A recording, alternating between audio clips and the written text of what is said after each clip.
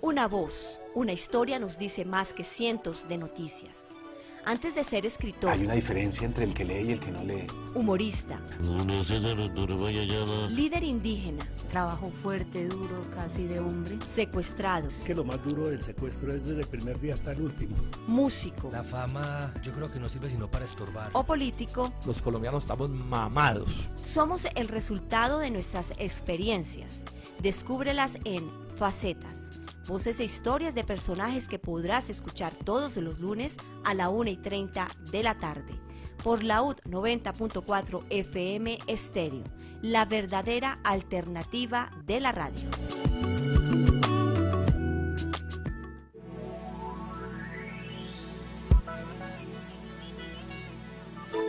Le damos la bienvenida a todos nuestros oyentes que hasta ahora se conectan a Facetas, este programa como cada lunes trae a invitados especiales que nos cuentan su historia de vida. En esta oportunidad tenemos a un español, historiador, eh, archivista también, que está acá en Colombia porque la Universidad Distrital lo ha invitado a propósito de que el 9 de octubre es el Día Nacional de los Archivos y lo ha invitado a unas actividades que se están realizando en la universidad porque nuestra Universidad Distrital tiene el proyecto curricular eh, Archivística y Gestión de Información Digital y él va a ser, digamos, como ese personaje principal por esa trayectoria tan importante que ha tenido.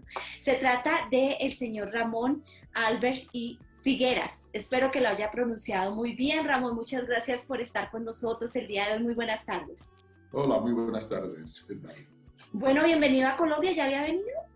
Sí, yo llevo como veintipico de años viviendo a Colombia, desde los años 95-96, Sí. con una cierta periodicidad en distintos proyectos, por tanto, soy ya medio colombiano casi. Qué bueno, qué bueno. ¿Qué es lo que más le gusta de Colombia? Colombia a mí me gusta todo, quizá lo que más me guste aún es sobre todo especialmente, es pues la, la- ilusión que hay en la gente para hacer cosas, ¿no? Los proyectos, la- la- la- las ganas de aprender, que a veces en Europa parece la gente que, pues, que nace un poco ya hastiada de todo y cansada de todo un poco, ¿no? Y el contraste, sobre todo los alumnos, es importante, que hay un alumnado muy competente, muy preparado, muy ilusionado, y esto para un, para un docente es, es, pues, es- es un- muy importante y muy interesante. ¿Siempre viene a Bogotá o conoce otras ciudades del país? Conozco, pues conozco Cali, conozco Medellín, conozco varias ciudades, sí, sí, eh, excepto Cartagena de Indias, que es mi asignatura pendiente. Conozco muchas ciudades, incluso mi lugar preferido es Providencia, es un lugar que encuentro maravilloso y que he ido varias veces.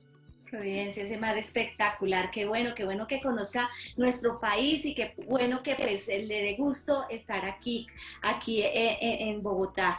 Bueno, eh, usted es español, nació en Gerona. Háblenos un poco para conocer ese lugar del mundo en esta península ibérica. Sí, Gerona o Girona, como llamamos nosotros en catalán, es una ciudad de unos 100.000 habitantes situado nada, a pocos kilómetros de la frontera francesa.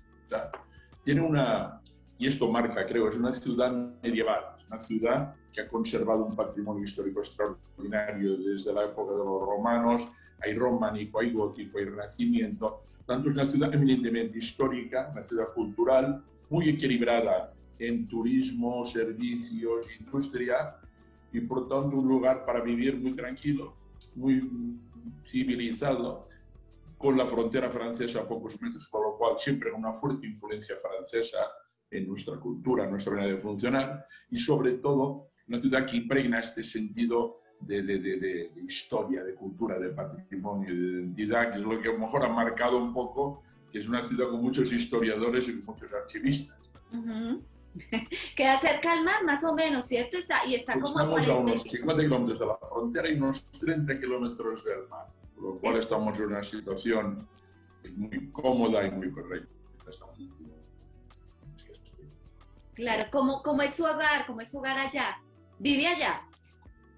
Yo viví muchos años allá, empecé a trabajar, nací allí, trabajé hasta los 30 años allí en Girona, luego fui a trabajar a Barcelona, donde me quedé ya definitivamente a trabajar, primero en el Ayuntamiento de Barcelona, luego en el Gobierno Autónomo de la Generalitat y finalmente en los últimos años en la Universidad Autónoma de Barcelona, en la Escuela de Archivística, donde he desarrollado mis últimos años profesionales.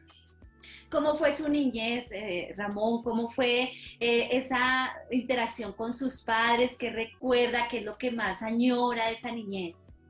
De la niñez yo recuerdo, claro, veníamos de la niñez de una posguerra terrible, claro, en España eh, acaba la guerra civil el 39, hay una represión política tremenda, yo nací en el 51, además una zona como Cataluña muy reprimida por el régimen franquista, tanto por la ideología en aquel momento en Cataluña, previa a la guerra, imperante del republicanismo de izquierdas, como el tema del catalanismo político, la lengua catalana. Entonces viví una niñez feliz, pero eh, consciente por parte de mi abuelo, que era un republicano, de que éramos objeto de una represión cultural, porque el catalán estaba prohibido hablarlo, cuando era nuestra lengua materna, era nuestra lengua familiar, ¿no?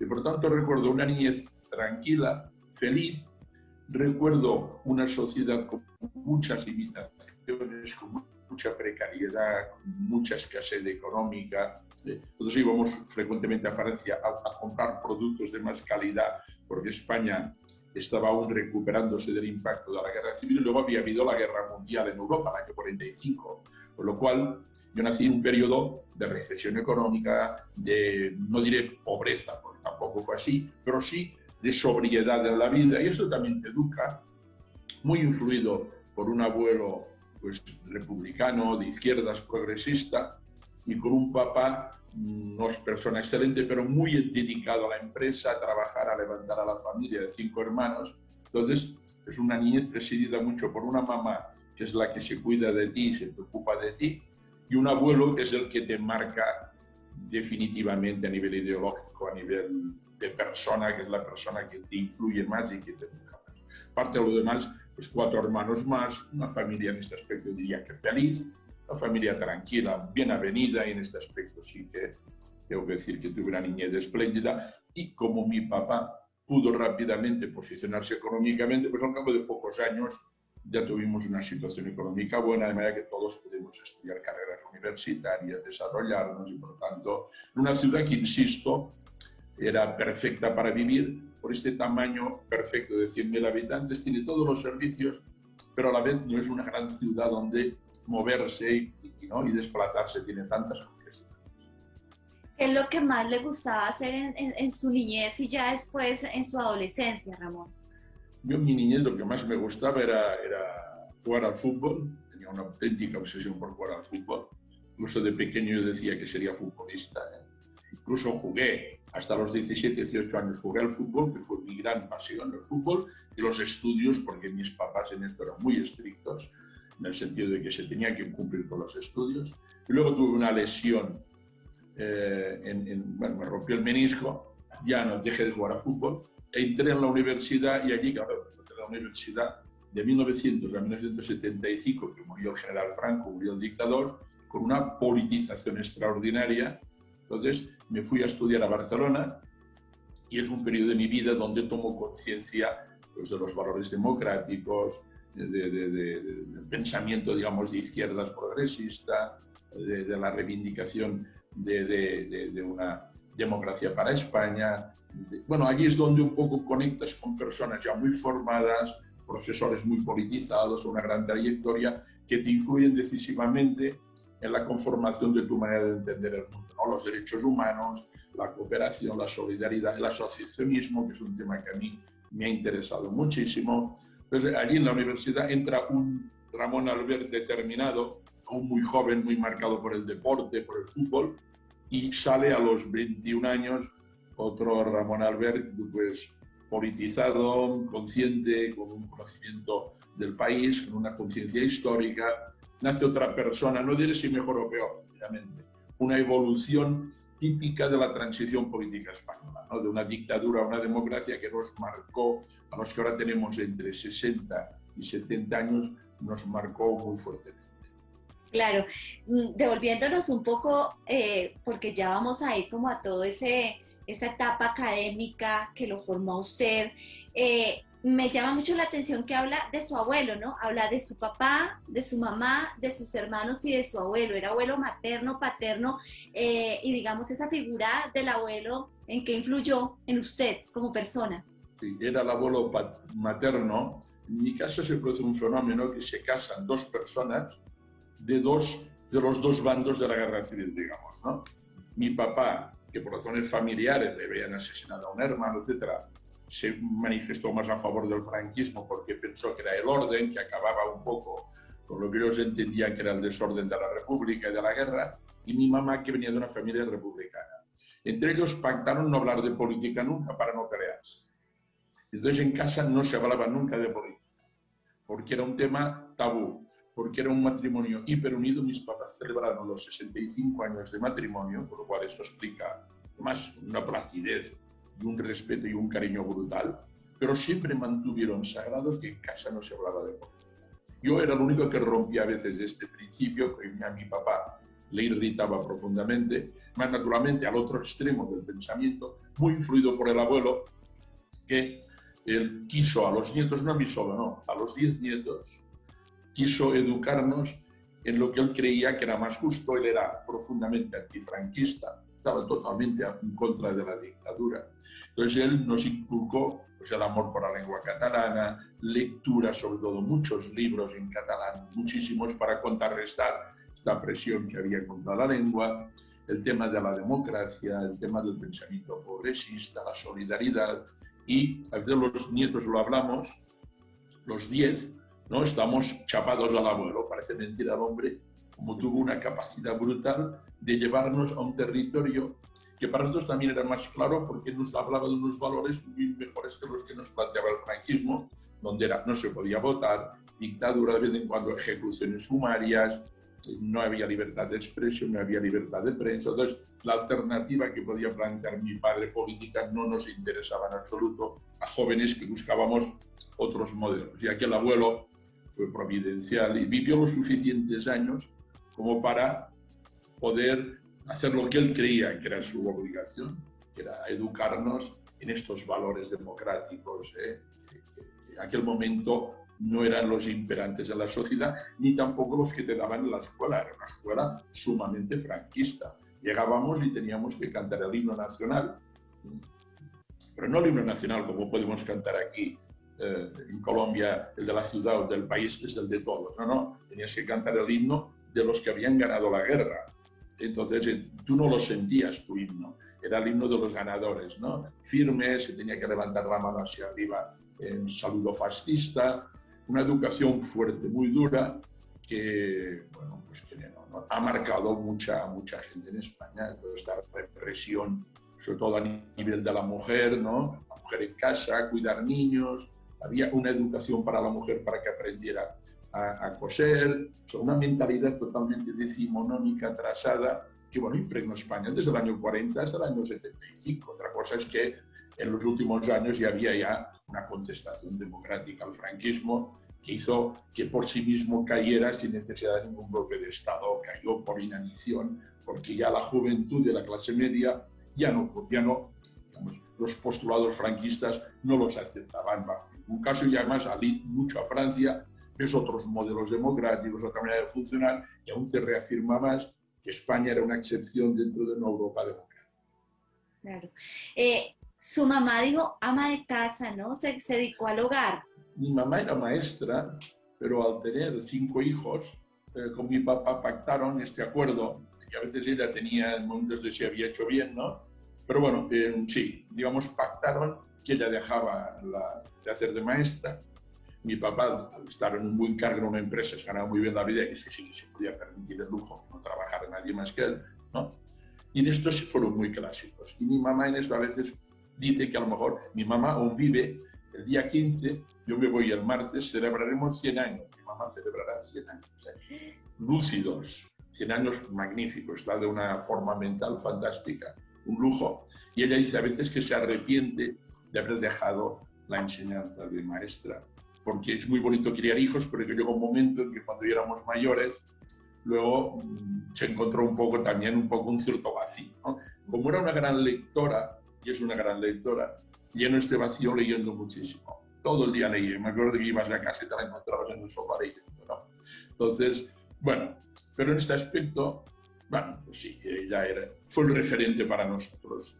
Papá aportaba la seguridad, muy cariñoso, cuidado, una persona cariñosísima, una excelente persona, cuidado, ¿eh? Pero era mamá la que estaba el 80% del tiempo en casa y con quien teníamos cualquier pequeño problema lo resolvíamos con mamá, ¿no?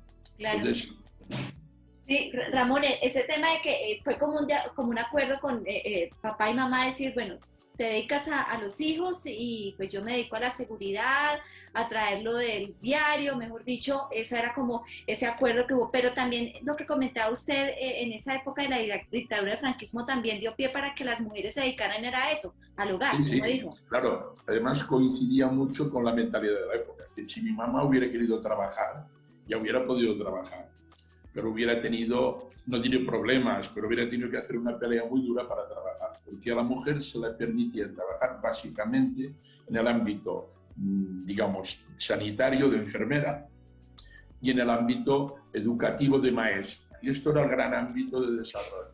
Luego, con el paso del tiempo, eh, esto va mejorando. Pero claro, tenemos que situar que mi papá y mi mamá se casaron en el año 1948. Entonces, en aquel momento, es pleno franquismo, es autarquía. España eh, desconectada del mundo. España no tiene relaciones con nadie. Hasta el año 50 y pico, que tiene relaciones con la Santa Sede con Estados Unidos, las bases americanas, España es un país mm, es- un- que tiene como si tuviéramos la peste, es decir, Europa ha salido de la guerra mundial, ha caído las dictaduras Italia, Mussolini, eh, Alemania, el nazismo, hay una recuperación democrática y económica y España pasa a ser una excepción con Portugal y Grecia. Quedan tres dictaduras en el sur, que somos los apestados, digamos, un poco de Europa, ¿no? Entonces, el clima tampoco era para que una mujer hiciera grandes heroicidades como, y menos si tiene cinco hijos. Ah, Cada dos años tienes un hijo, pues tampoco estás para... Pero ahora sí, con perspectiva, pero sí, mi mamá cumplió los cánones de la época. Pues la sociedad iba por aquí, pues ella se, se adaptó a la situación, fue pragmática, siempre lo mucho, una mujer muy posibilista, muy de hacer lo, que es posible hacer. Pues bueno, fue feliz también, ¿eh? Pero ella piensa que a lo mejor cuando éramos mayores haber podido ir a trabajar. Yo luego ya estaba muy marcada esta situación de que mi papá trabajaba y aportaba dinero y mi mamá cuidaba de los hijos y de la casa, ¿no? Entonces, ya supongo que cuando lo pudo hacer, que en los años 60 y pico, o 70, ya era muy difícil hacerlo, ya la edad también te marcaba. Claro, como es la vida de ella ahora, dice que tiene 100 años, Pues bien cumplirá el día 15, vividos, sí. lúcida, ¿cómo, ¿cómo es esa relación? Me imagino que muchos nietos, una familia grande. Sí, somos cinco hijos, nueve nietos y cinco bisnietos. Hace pocos días nació la última bisnieta. Y sí, sí, una familia amplia, porque además es muy propia del franquismo. Ahora no. Yo soy abuelo de mis hijas, tienen un, un hijo cada hija. Ahora la natalidad está, un hijo como mucho, dos ya es un éxito, ¿eh? Pero claro, mi mamá es de la época además del natalismo. Una influencia religiosa brutal. Se tenía que tener todos los hijos que Dios quería. Y entonces las familias, nosotros éramos cinco, pero yo tenía unos vecinos delante que eran ocho y otros catorce. Yo recuerdo en la calle familias de 12, de 10, de 8, porque era la idea franquista de mm, todos los hijos que Dios nos de los tenemos que recoger y natalismo porque veníamos de una guerra, de una guerra civil donde había muerto un millón de personas, muchos hombres. Entonces el franquismo se encuentra con falta de mano de obra y inicia una política natalista brutal, tan fuerte que luego resultó que había un exceso de hombres y muchos fueron a trabajar a Alemania, se fueron a trabajar a otros países porque no había trabajo para todos, porque hubo un boom demográfico en los años 50, 60, brutal, multiplicación brutal de la población. Bueno, ya está esa etapa de adolescencia, ya el fútbol quedó atrás porque pues la lesión. ¿En qué momento dice usted quiero estudiar historia? Yo cuando, cuando iba a la escuela ya a mí siempre me habían gustado dos asignaturas. Yo había tenido siempre una gran aversión a, la a las matemáticas y a la física y química. Las aprobaba porque me tocaba, pero mm, me ponía de mal humor. A mí me gustaban extraordinariamente ciencias naturales, geografía e historia, las tres asignaturas que más me gustaban. Y tuve la suerte en el instituto de tener un profesor que era muy bueno en historia, era un hombre que explicaba las clases con una gracia, con, curiosidades. Era un hombre que no tenía tecnología en aquel momento, en los años 60, ¿eh? pero tenía una capacidad de comunicar extraordinaria. Yo ya salí convencido de que quería hacer historia, rompiendo con esto una idea de mi papá, que él quería que yo estudiara arquitectura urbana o ingeniería para poder ir, colaborar en la empresa de construcción en la que él era director general. ¿no? Entonces aquí sí que hubo cierto, no diré roce, lo respetó, pero sí que le disgustó porque su idea era que yo, que era el hijo mayor, pues siguiera un poco su, su línea, ¿no? El día que le dije que estudiaba que quería estudiar historia, se preocupó, sobre todo porque recuerdo la frase, le dije a mi mamá, cuando yo, bueno, primero yo se lo dije, él se quedó muy trastornado, muy apenado. Antes se lo había explicado a mi mamá, que ya me dijo, ay, tu papá, cuando le expliques que quiere hacer historia, no. Espérate que un día que esté de buen humor se lo cuento. El día que mi papá llegó de la empresa eufórico, envió a mis hermanos a jugar a la calle y le dijo, mira, Ramón tiene que hablar contigo. ¿Y qué te pasa, hijo? Dime, no, pues mira, papá, que voy a estudiar historia. Historia, me dijo. Sí, me gusta. Pero no, hombre, tú tienes que hacer arquitectura, tienes que hacer ingeniería. No, no, papá, yo voy a hacer historia, que me gusta. Se quedó así serio y me dijo, bueno, tú mismo. Y se fue. Y mi mamá luego me dijo, uff, tiene un disgusto de muerte y me ha dicho que vas a pasar mucha hambre, que vas a pasar muchas penurias en tu vida estudiando historia, ¿no? Entonces es curioso que luego con el tiempo mi papá lo había hablado. Me decía, es curioso que el que más me ha disgustado haciendo una opción de formación, otros economía, las dos chicas maestras, mi hermano pequeño me siguió a mí, sí, estudió arqueología. ¿eh? Dice, es curioso que el que más disgustos me ha dado, luego es el que más satisfacciones me ha dado, porque has escrito libros, has hecho conferencias, has viajado por el mundo. Nunca pensé que de este mundo de la historia, luego de los archivos, pudiera emerger un trabajo sólido y una carrera profesional. Por lo tanto, le, bueno, le reforzó en que hay que respetar, yo esto lo he hecho dos hijas, respetar la opción que toman profesional. ¿Te parece que si ganan mejor la vida, peor? No hay nada peor que el domingo por la noche pensar qué desgracia mañana te tengo que ir a trabajar. Y esto puedo decir yo, después de 40 años, me levanto por la mañana el lunes de un humor excelente para ir a trabajar si hace falta, para hacer algún proyecto, no me, porque hago aquello que me gusta. Y esto es importante. Esto es un mensaje que a mis hijas, mi ex, también quería que hicieran algo, pues economía, algo que le parecía informática, algo que fuera productivo, ¿no? Y al final uno tiene que escoger pues lo que le gusta, pues dedicarse al mundo ¿no? del periodismo, de la comunicación como ustedes. ¿Te ganarás mejor o peor la vida? No lo sé, a lo mejor sí, pero seguramente disfrutas haciendo el trabajo. Que no otro que a lo mejor será por opción familiar, por estrategia económica, pero que ser economista, ser profundamente desgraciado aunque te ganes bien la vida, pues tampoco me parece. Entonces, he podido conciliar mi pasión profesional con un trabajo que me ha permitido ganarme la vida, con lo cual en esto soy sumamente feliz. Claro. Claro, y, y, el reconocimiento que hay por esa labor tan importante porque se ha entregado mucho el tema de ser historiador que está relacionado con lo que lo conocemos acá en Colombia, ser archivero, ¿no? Gestor de documentos que, que, que es algo que me parece espectacular.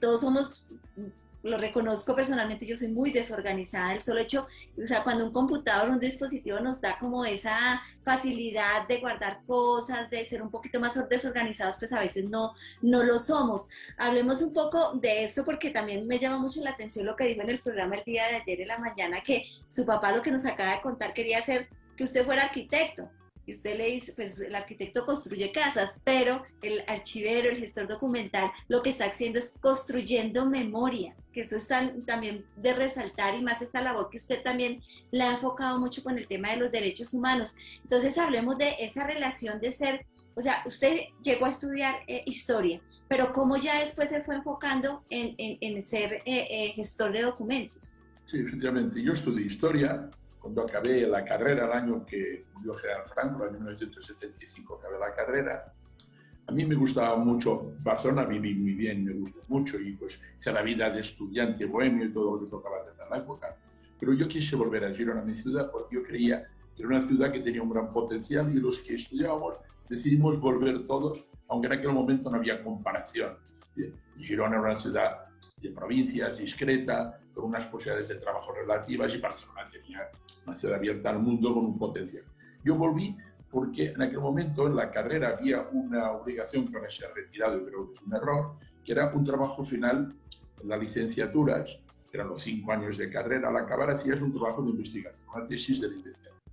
Entonces era obligada. Entonces yo, que me gustaba la historia, entré en el archivo municipal de mi ciudad natal para hacer el trabajo final. Y allí fue cuando vi el potencial que tenían los archivos.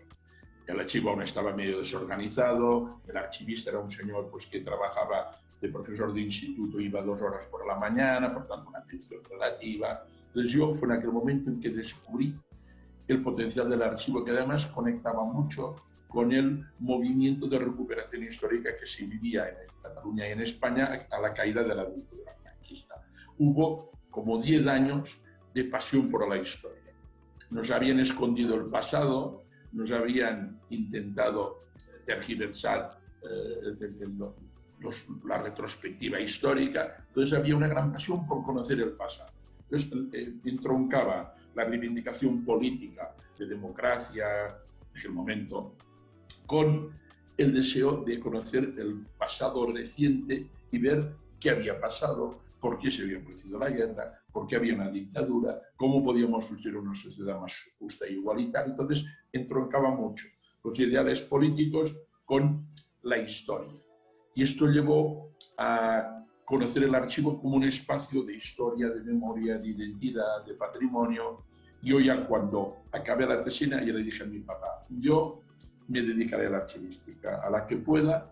Y efectivamente, al cabo de pocos meses, este señor se jubiló convocaron la plaza de responsable del archivo de la ciudad de Girona, me presenté a las oposiciones, me preparé un año estudiando, las gané, pero luego ya inicié por aquí mi carrera archivística en Girona, en Barcelona, luego ya, ya, me dediqué, a partir del año 78, ya me dediqué absolutamente solo a historia y archivos que he compaginado, las, no es lo mismo, pero mm, son primas hermanas las dos, las dos carreras, digamos. Claro, ¿qué tan difícil es? ¿Qué tan difícil es eh, eh, llevar a cabo este, esta carrera, este oficio también tan importante? Eh, usted llega y le fascina y dice, esto necesita más organización, un archivo tiene que tener, digamos, como todo ese empeño para realmente organizar toda una historia, documentar todo muy bien. ¿Cómo es ese proceso y qué tan difícil es? Y yo siempre digo a los alumnos de la universidad, les hago una broma, les digo que la archivística archivista, es la única profesión que el día de tomar posesión de tu trabajo tienes 500 años de trabajo pendiente, ¿no? Y es verdad, porque yo cuando llegué a Girona, el director del archivo me dijo, mira, yo no he tenido tiempo, aquí hay documentos desde 1250, y el año 1978. Tú mismo me dio un golpe a la espalda cariñoso y me dijo, bueno, y hay pergaminos, hay fotografías, me dijo, tú mismo, ánimo, y a ver si lo organizas. Entonces te encuentras de golpe razón que tomas posesión de un trabajo y tienes, en este caso, 700 años de trabajo pendiente.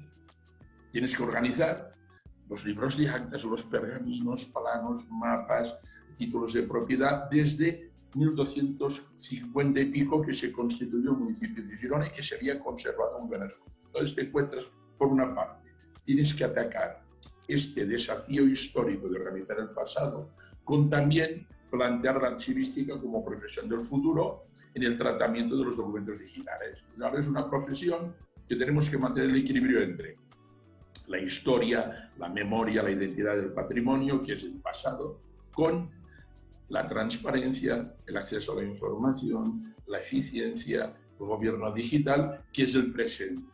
Yo siempre digo de todas maneras que son dos caras de una misma moneda, porque organizando los archivos administrativos actuales, usualmente en soporte digital, estamos prefigurando también los archivos históricos del futuro.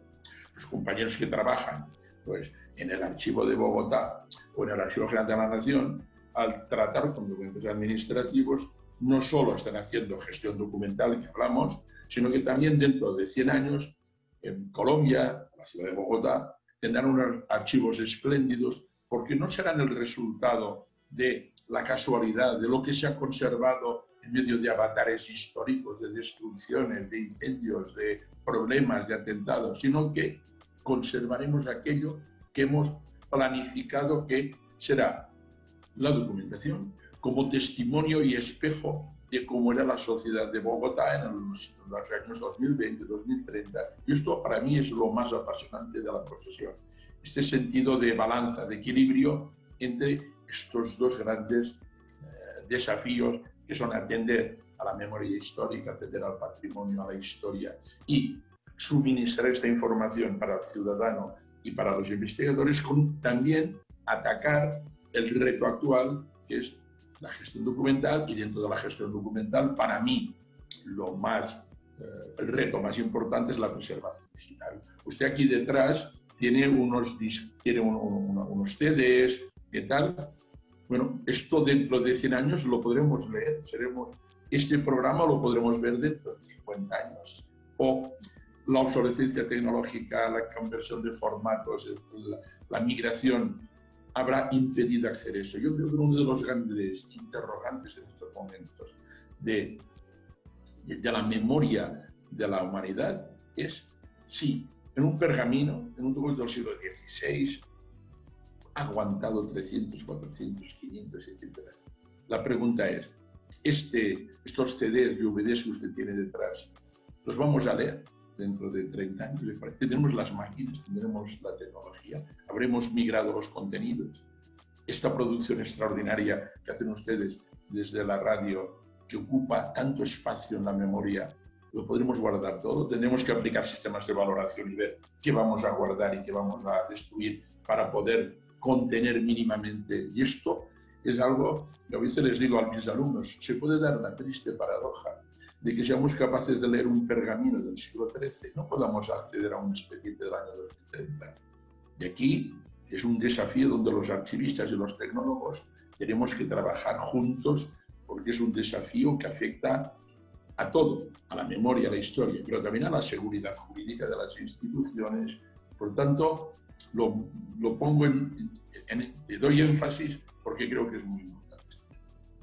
Desafíos muy importantes que yo creo que usted más que nadie lo sabe, estos desafíos entre los archivistas y los tecnólogos, como nos lo estaba diciendo eh, Ramón, digamos, eh, este, este, esta relación ¿no? de lo digital, de lo digital con esos archivos que usted nos hablaba que estaban en cartas, pergaminos, todos esos escritos, esas fotografías, realmente cómo puede ser todo, todo, desarrollarse todo esto para que finalmente se logre un archivo digital que estamos pues en este mundo eh, eh, donde todo tiene que ver con la tecnología.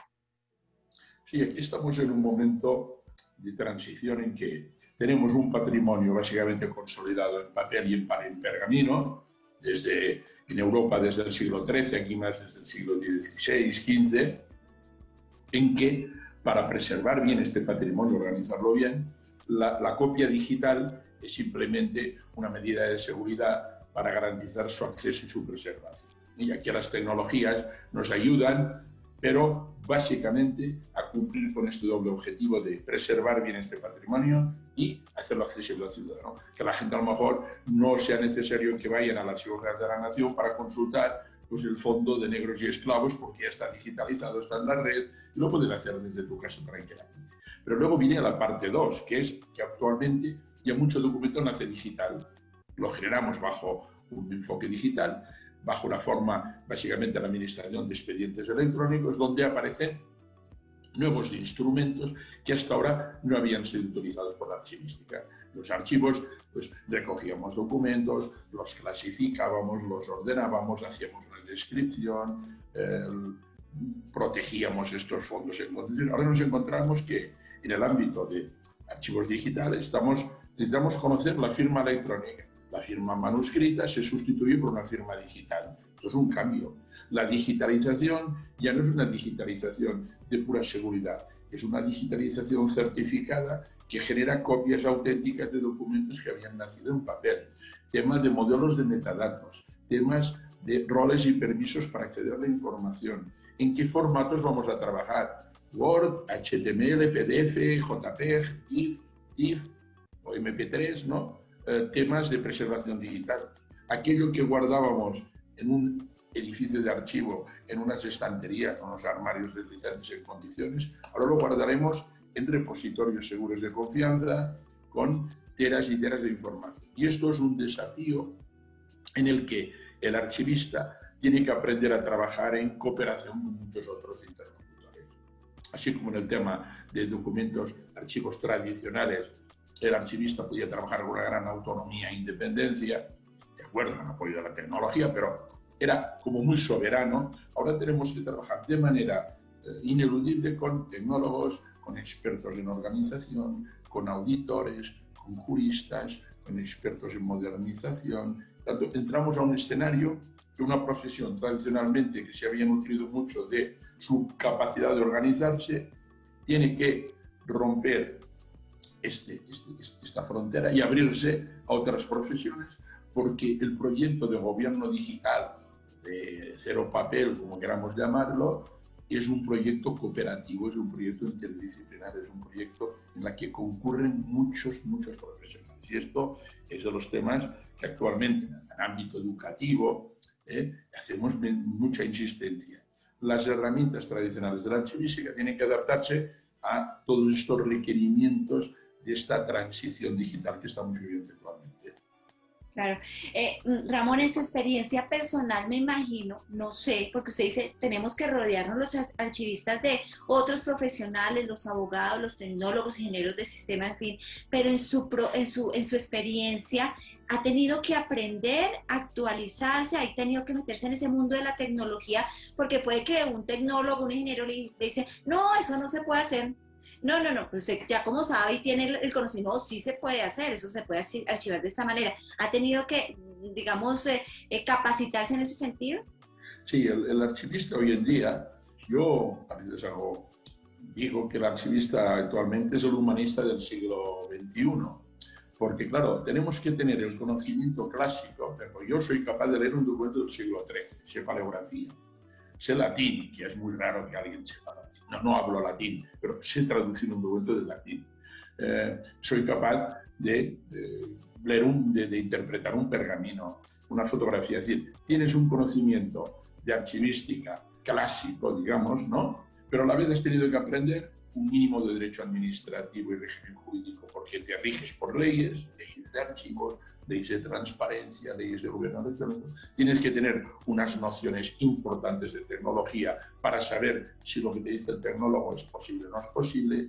Tienes que saber eh, una parte también de temas de dinamización cultural. No olvidemos que los archivos son también grandes centros de proyección de la cultura. Y aquí hay un elemento que hemos olvidado detrás de la fascinación por la tecnología. Hemos olvidado que los archivos debemos ser dinamizadores culturales y que podemos utilizar los documentos para eh, eh, recurso didáctico, por ejemplo, en las escuelas, para exposiciones, para publicaciones, para conferencias. O sea que cada vez más el archivista se dibuja como un profesional muy polivalente que tiene que recurrir a muchas disciplinas para integrarlo en un conocimiento y poder responder a los requisitos. Y esto, que es lo que harán, haremos con los compañeros de la Universidad Distrital el lunes, lo pondremos sobre la mesa perfiles y competencias. Lo que antes servía para un archivista hace 20 años sirve ahora para un archivista. ¿A qué modelo formativo tenemos que ir? A lo mejor tenemos que ir a una formación básica en una archivística integrada y luego haber especializaciones en preservación digital, en, en, dinamización cultural, en archivos de audiovisuales. Algunos países empiezan a tomar este modelo. Entonces, no es un tema baladí, es un debate muy importante, porque al final somos custodios del patrimonio documental de la nación. Y esto es un tema que es muy importante que tomen los políticos conciencia de que errores en este sector son errores de, de una gravedad extraordinaria.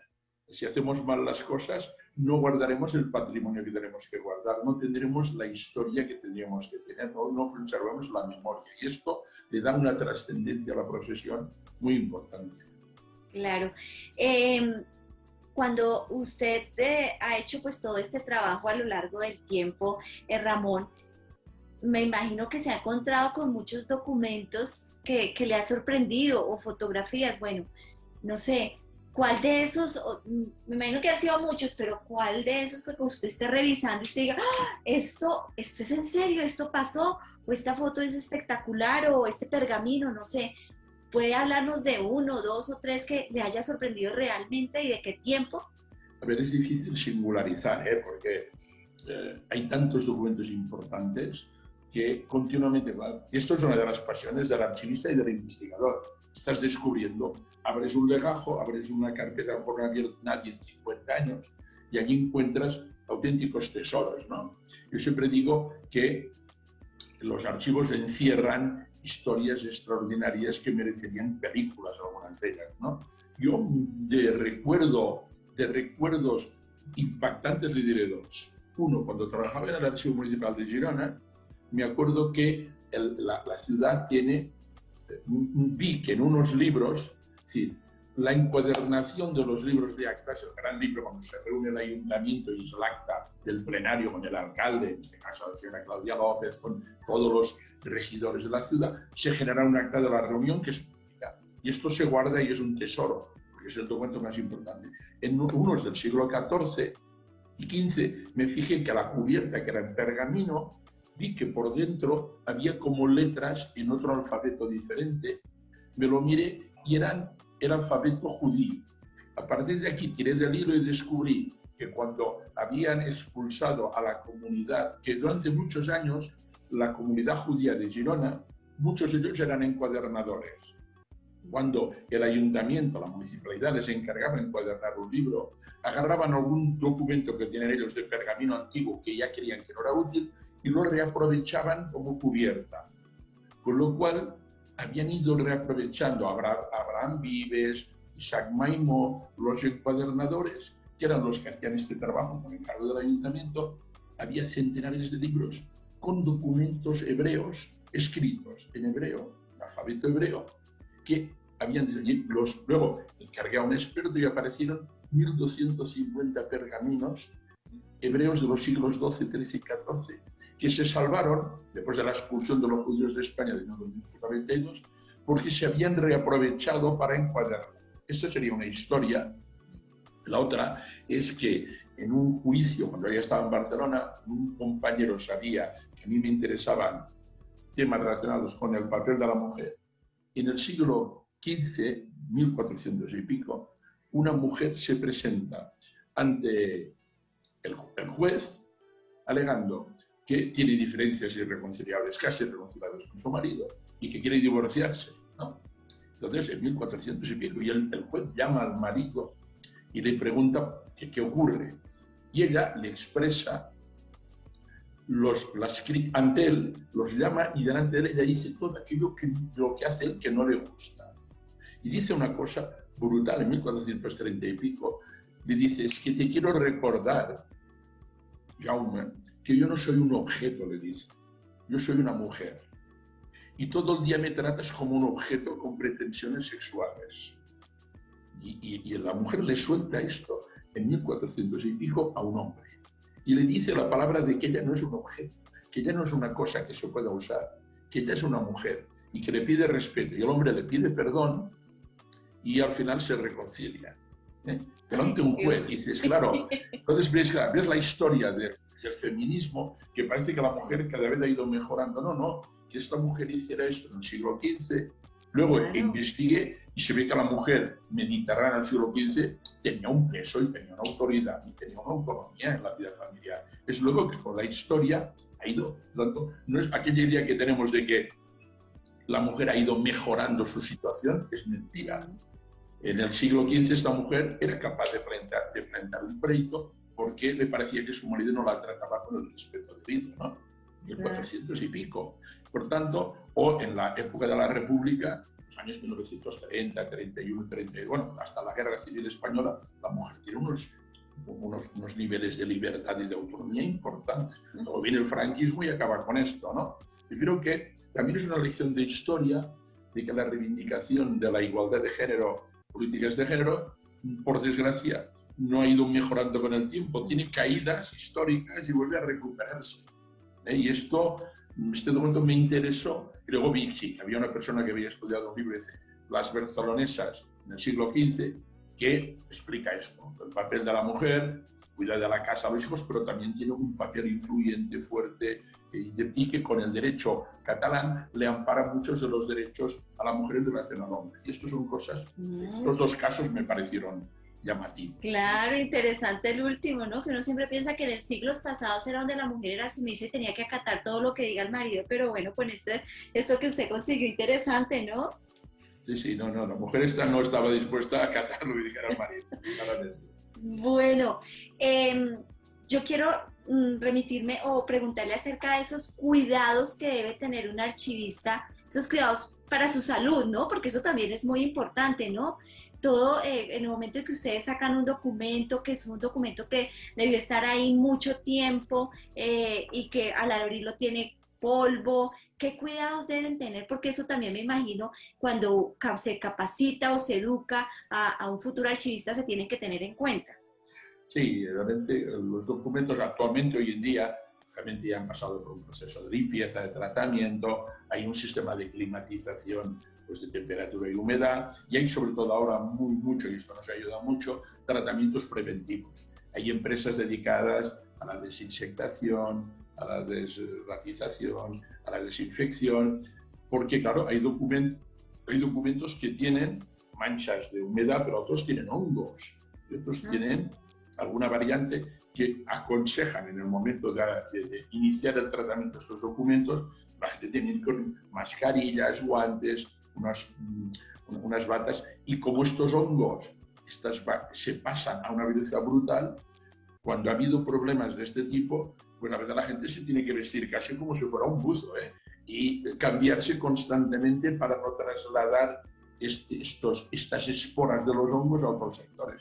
Yo una vez viví en un archivo que había un hongo muy, muy, muy, muy nocivo en unos pergaminos. Eh, al abrirse estos documentos, al tratarlos, no hubo el cuidado probablemente de hacerlo, las esporas a través del aire acondicionado entraron por otros depósitos e infectaron todos los depósitos de un archivo muy importante. Y costó una fortuna porque más es, un, es un que se pega al documento y lo va, lo va manchando. Se tuvo que limpiar cientos de miles de documentos manualmente. ¿no? Por lo tanto, sí que es verdad que actualmente hay una ventaja. Normalmente antes de ingresar un, un fondo documental a un archivo, se le hace un tratamiento realmente con un autoclave, se le pone allí y se hace un tratamiento contra hongos y otros posibles bacterias, etc. Y por tanto, hoy en día está muy controlado, no tanto para afectar a la salud de las personas, pero bueno, podría ser también una posibilidad. Hay gente que es alérgica, hay gente que en un archivo no podía trabajar, porque un mínimo de polvo siempre lo hay, con mucho cuidado que lleves, mínimo. Pero vaya, en principio, hoy en día, con este, con este orden que hemos puesto a las transferencias, a las tres Ds que llamamos desinsectación, desinfección, derratización, a los tratamientos preventivos anuales, a través de feromonas, a través de tratamientos sobre pues, parásitos, animales de todo tipo, en principio tenemos garantías de que el material documental está en condiciones, pero siempre debemos estar vigilantes, porque, bueno, porque la humedad sobre todo es el gran enemigo. La temperatura más o menos alta le afecta, lo que le afecta muchísimo es la humedad. Cuando un documento se humedece, genera hongos rápidamente y esto es un problema luego de, que a veces puede afectar a la legibilidad, incluso puede llegar a destruirlo. Porque si no hay cuidado, puede llegar un día y está todo manchado de color violeta y es ilegible, porque aquel hongo se ha apoderado totalmente del documento. Y esto sí que requiere estas revisiones eh, periódicas de los. Em, usted es eh, cofundador, presidente de Archivos Sin Fronteras. Mm, Ahí están eh, muchos países eh, y usted como pues tiene experiencia en este tema, ¿cuál cree que es la potencia, cuál pa- país cree que es la potencia en cuanto al tema de, de archivo? Mm, Sí, Archiveros sin Fronteras aparece un poco la idea de apoyar a países en situación o ciudades, más que eran ciudades y archivos, en situaciones límite después de un conflicto armado, después de una transición política, un terremoto, una inundación. Es como una, un grupo de emergencia que ahora tiene 14 países donde está ubicado. ¿no? Esto nos ha permitido conocer un poco la situación de los países. Estos momentos, digamos, a nivel mundial, siempre la archivística, lo comenté otro día, la archivística que había sido la de referencia era la archivística francesa, que había sido la más relevante.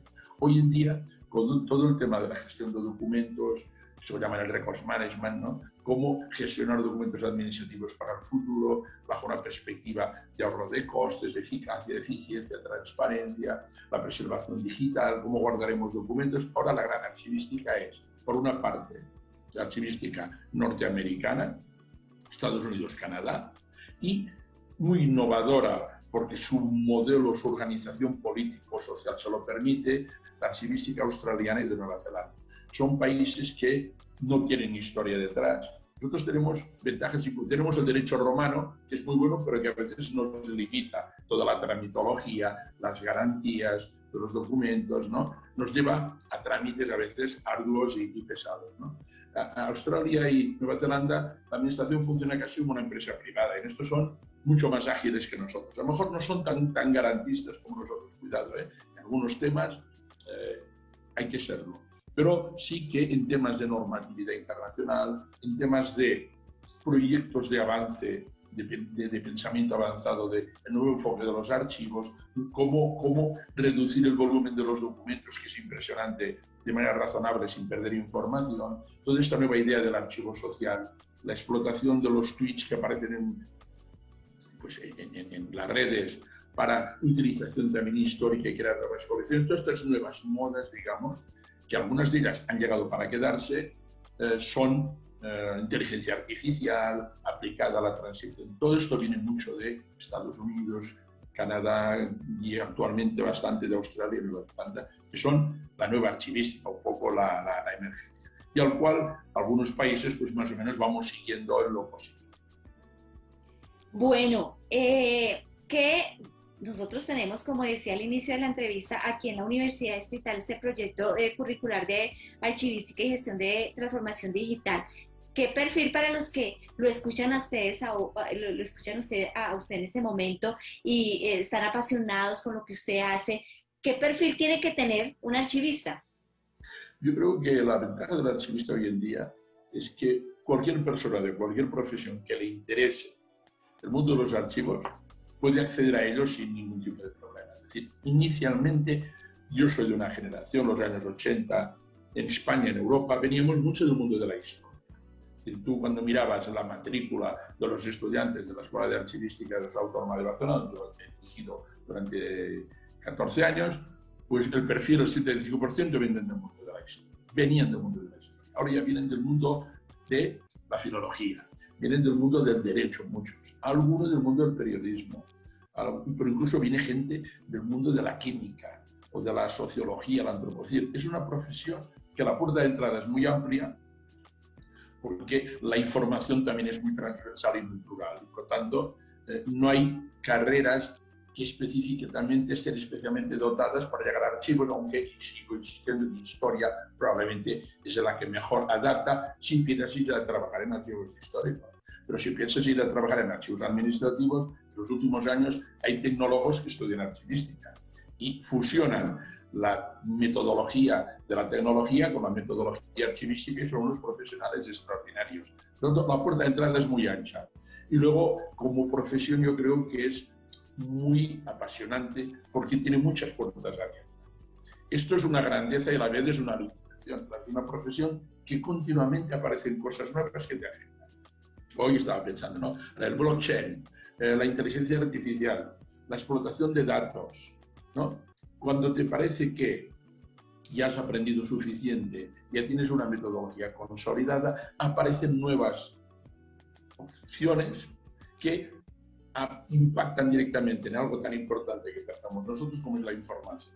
Entonces somos profesiones condenadas, en el buen sentido de la palabra, a aprender constantemente y a adoptar un nuevo utillaje metodológico para poder enfrentar. Y por esto es pertinente estas jornadas como la del lunes, porque cada 5 o 10 años deberemos vernos obligados a cambiar realmente el pensum, el programa educativo, porque responderá, como pasará a ustedes en el mundo del periodismo, ¿no? Aparecen todo el mundo las fake news, la posverdad, ¿no? Aparecen nuevos elementos en juego que hacen que la formación de todas las profesiones vinculadas al mundo de la información y la documentación estén sometidas constantemente a este reto de actualización.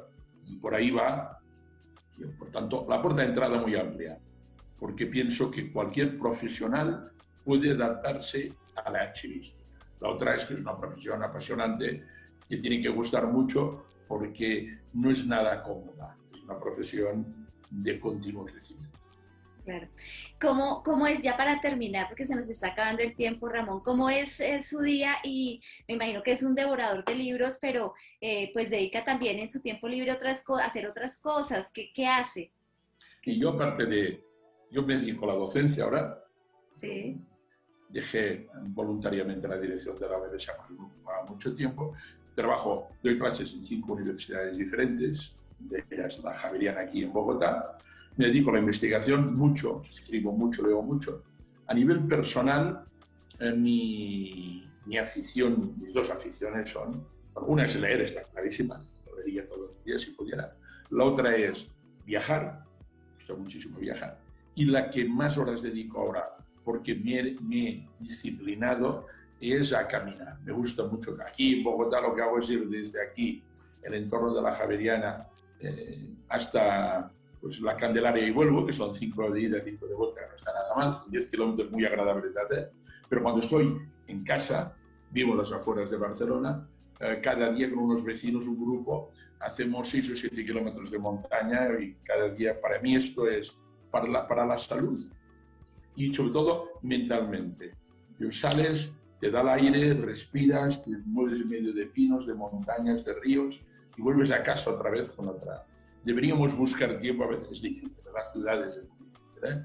buscar tiempo para caminar, para pasear, porque nos da, nos da una energía. Bueno, y ver fútbol, ¿no? El fútbol definitivamente soy, yo, es, es, curioso que habiendo sido tan futbolero, ahora lo soy muy poco.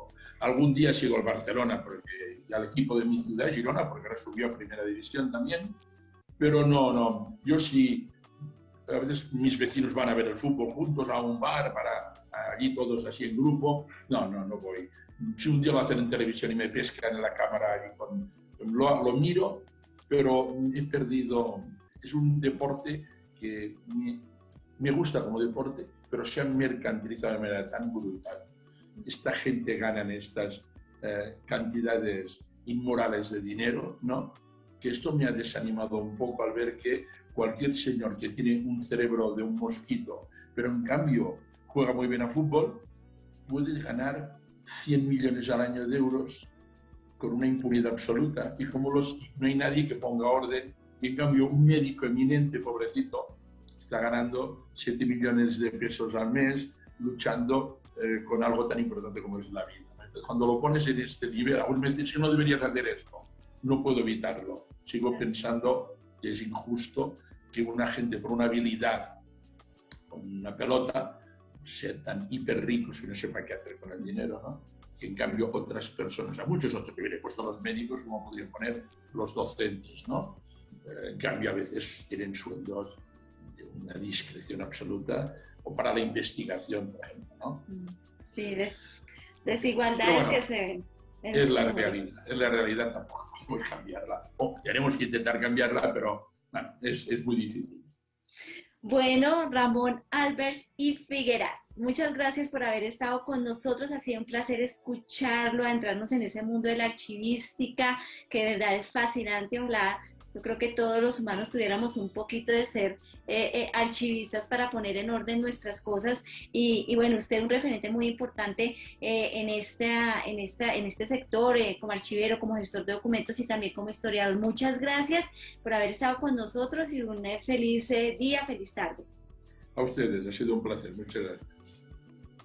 Bueno, con este buen invitado terminamos Facetas. Nos volvemos a escuchar el próximo lunes de una y media a dos y media de la tarde.